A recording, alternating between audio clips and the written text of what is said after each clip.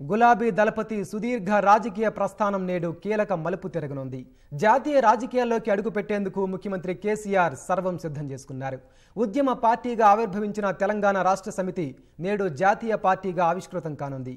తెరాస పేరు పార్టీ రాజ్యాంగంలోని మౌలిక అంశాలను సవరిస్తూ సర్వసభ్య సమావేశం తీర్మానం చేయనుంది.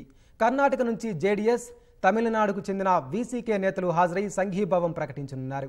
మధ్యాహ్నం ఒంటి గంట పంతొమ్మిది నిమిషాలకు కేసీఆర్ జాతీయ పార్టీ ప్రకటన చేయగానే రాష్ట్రమంతటా సంబరాలు చేసేందుకు పార్టీ శ్రేణులు సిద్ధంగా ఉన్నాయి.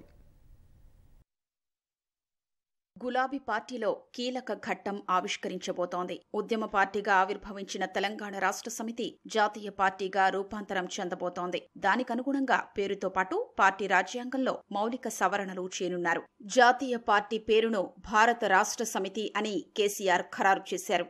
అదేవిధంగా పార్టీ మౌలిక ఉద్దేశాల్లో కీలక సవరణలు చేయనున్నారు తెలంగాణ రాష్ట్ర సాధన తెలంగాణ అభివృద్ధి వంటి మౌలిక ఉద్దేశాలతో తెరాస ఆవిర్భవించింది. వాటిని జాతీయ పార్టీకి అనుగుణంగా మార్చనున్నారు. దేశమంతటా తెలంగాణ మోడల్ లౌకికవాదం రైతు యువత మహిళా సంక్షేమం వంటి అంశాలతో మౌలిక ఉద్దేశాల్ని పొందుపర్చనున్నట్లు తెలుస్తోంది. పార్టీ పదవుల విషయంలోనూ నిబంధనల్లో కొన్ని మార్పులు చేర్పులు చేసే అవకాశం కనిపిస్తోంది. విజయమే లక్ష్యంగా ప్రణాళికలు చేస్తున్న కేసీఆర్ జాతీయ పార్టీ ప్రకటనకు ఈ మధ్యాహ్నం ఒంటి గంట పంతొమ్మిది నిమిషాలకు ముహూర్తం ఖరారు చేశారు. తెలంగాణ భవన్లో ఉదయం పదకొండు గంటలకు కేసీఆర్ అధ్యక్షతన తెరాస సర్వసభ్య సమావేశం జరగనుంది.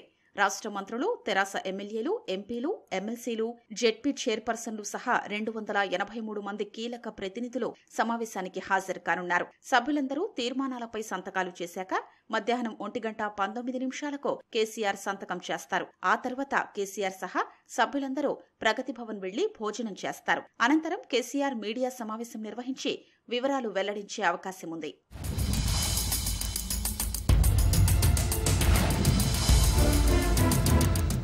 తెరాస కీలక భేటీకి ఇతర రాష్ట్రాల నుంచి పలువురు నేతలు కూడా హాజరు కానున్నారు.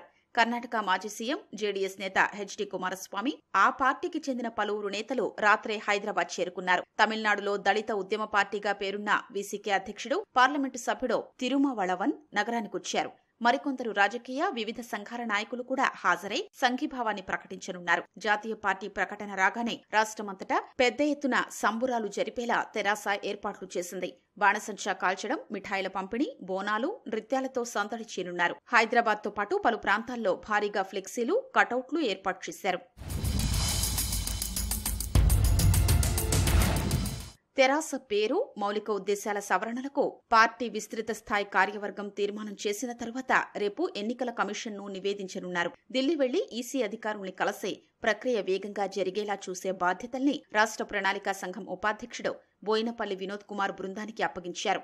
ఈసీ ఆమోదముద్ర పడగానే భారాసా నిర్మాణం ఊపందుకోనుంది. భారాసా జాతీయ రైతు యువజన కార్మిక విద్యార్థి విభాగాల్ని ఏర్పాటు చేసేందుకు సన్నాహాలు ప్రకటిస్తున్నారు. రైతు అంశాలపైనే మొదట దృష్టి సారిస్తున్న కేసీఆర్ దానికనుగుణంగా దేశంలోని వివిధ రైతు సంఘాల్ని భారాసాలో చేరేలా కసరత్తు చేస్తున్నారు. వివిధ రాష్ట్రాల్లోని సుమారు పదిహేను రైతు సంఘాలు భారాసాకు అనుబంధంగా పనిచేయనున్నట్లు పార్టీ వర్గాలు చెబుతున్నాయి. ఇతర రాష్ట్రాల్లోని కొన్ని పార్టీలు కూడా భారాసాలో విలీనం కానున్నాయని పార్టీ నేతలు పేర్కొంటున్నారు. డిసెంబర్ తొమ్మిదిన ఢిల్లీలో భారీ బహిరంగ సభ ద్వారా బల ప్రదర్శన చేసేందుకు కేసీఆర్ సిద్ధమవుతున్నారు.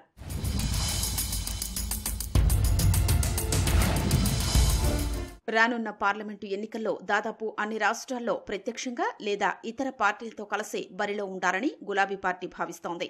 శంకర్ సింహ్ వాఘేలాతో కలిసి గుజరాత్ అసెంబ్లీ ఎన్నికల్లోనూ పోటీ చేసే ఆలోచనలో ఉన్నారు. మొదట హైదరాబాద్ సంస్థానం పరిధిలోని కర్ణాటక మహారాష్ట్రలోని ప్రాంతాలపై ప్రధానంగా దృష్టి సారిస్తున్నట్లు సమాచారం. తెలంగాణ ఉద్యమం తరహాలోనే నేరుగా ప్రజల్ని కదిలిస్తే ఇతర పార్టీలు నాయకులు కలిసొస్తారని కేసీఆర్ బలంగా నమ్ముతున్నారు. గుజరాత్ మోడల్ విఫలమైందని తెలంగాణ మోడల్ కావాలనే నినాదంతో భారాస ముందుకెళ్ళనుంది. తెలంగాణలోని దళిత బంధు ఆసరా పింఛన్లు రైతు బంధు రైతు బీమా కళ్యాణలక్ష్మి వంటి సంక్షేమ పథకాలు సాగునీటి ప్రాజెక్టులు మిషన్ భగీరథ మిషన్ కాకతీయ నిరంతర విద్యుత్తు వంటివి విస్తృతంగా ప్రచారం చేసి భారాసాకు మద్దతుగా నిలిస్తే దేశమంతా చేసి చూపిస్తామనే ప్రచారం చేసేందుకు సిద్దమవుతున్నారు దేశవ్యాప్త పర్యటనల కోసం ప్రత్యేకంగా విమానం కొనుగోలు చేశారు.